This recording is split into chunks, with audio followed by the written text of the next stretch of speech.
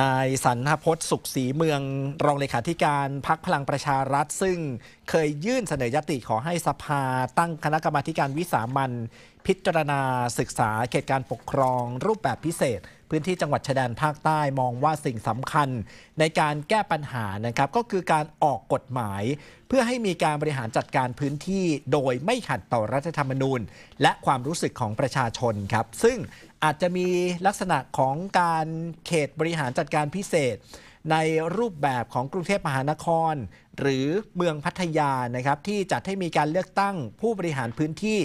โดยประชาชนในพื้นที่เองน่าจะเป็นทางออกที่ดีที่สุดนะครับ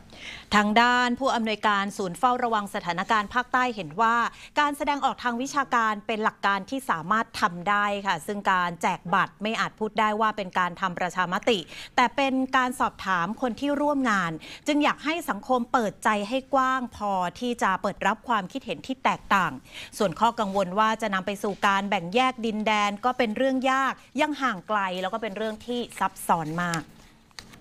ที่ในการกำหนดใจตนเองหรือ life for self determination เนี่ย เป็นเป็นหลักพื้นฐานของในแง่ของสิทธิเสรีภาพ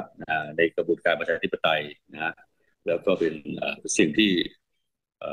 ควรจะได้รับการยอมรับมีพื้นที่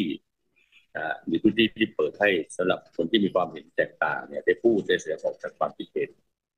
นะครับนะฮะซึ่งซึ่งเป็นประเด็นที่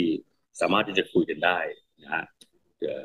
อันนี้ผมผมคิดว่านี่เป็นหลักการพื้นฐานที่สำคัญเลยคือการการมีพื้นที่ พื้นที่เปิดพื้นที่ที่ปลอดภัย มีซุ้มเสียงของนายสมชายแสวงการนะครับ สมาชิกวุฒิสภา ในฐานะประธาน คณะกรรมาการสิทธิมนุษยชน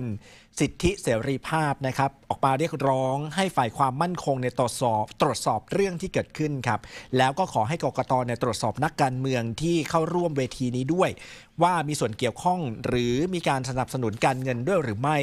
แล้วก็ระบุด้วยว่ามีคลิปที่นักการเมืองบางพักจัดเวทีปลุกระดม ซึ่ง ลักษณะเข้าข่ายขัดต่อรัฐธรรมนูญ หากมีความผิด ก็จะเข้าข่ายถึงขั้นยุบพักเลยครับ